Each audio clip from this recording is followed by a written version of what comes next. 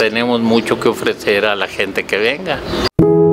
Mineral de la Luz podría convertirse en el primer barrio mágico del estado. Así lo declaró el secretario de Turismo, Juan José Álvarez Brunuel.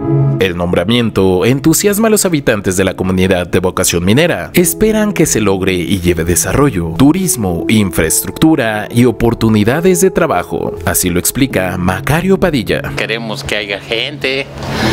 Pues si ponemos un negocio y no hay a quien venderle, pues a qué sale que que lo hagamos, que haya más perspectiva de trabajo en aquí en nuestro lugar y nuestros hijos vayan viendo otra forma de, de, salir adelante. Aquí por lo regular todas son comerciantes, nomás que ya tenerlo en una forma estable, pues no prefieren andar de casa en casa ofreciendo lo que ellos tienen de, de mercancía. En 1844 comenzó a trazarse el pueblo con ayuda de los señores Ignacio Alcocer y Benito Herrera. El pueblo fue testigo del enriquecimiento generado por los ingleses que ahí radicaron en el pasado. Durante el porfiriato, la extensión de la comunidad fue de 573 kilómetros cuadrados, en los que llegaron a contabilizarse 24 minerales. Sin embargo, con el descenso de la actividad minera, buena parte de sus habitantes se marcharon, refiere Paola Márquez. Todos aquí los del pueblo quisiéramos todo eso. Las calles apenas ahora se están viendo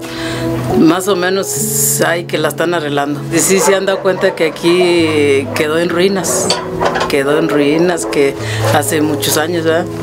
Porque sí estaba en bonanza. Aquí fuera, aquí era un pueblo que estaba en bonanza y mamá nos platicaba que estaba muy bonito. Casi la mayoría de la gente se fue de aquí, dejaron solo. Cual, pocas personas, familias fueron las que se quedaron aquí. Y ahora ya los años de este que viene, que han pasado, se ha quedado ya toda la gente aquí. Entonces, como hay trabajo en la mina, en las fábricas de autopartes, como que ya los jóvenes ya tienen hacia dónde irse a trabajar sin irse de aquí. El nombramiento de Barrio Mágico podría impulsar este renacimiento de Mineral de la Luz, del que habla Lidia Rizzo. Mineral de la Luz alberga vestigios de edificaciones barrocas, clásicas del siglo XIX. Un ejemplo es su templo. El apego a la religión es algo que mantiene unidos a los locales que recuerdan historias de antaño. Aquí abajo está un río que le dicen la sepultura porque dicen que allí, allí amanecen las mujeres muertas destacadas y de ahí se fue para abajo, vino un padre creo y, y pues nadie se arrimaba a misa.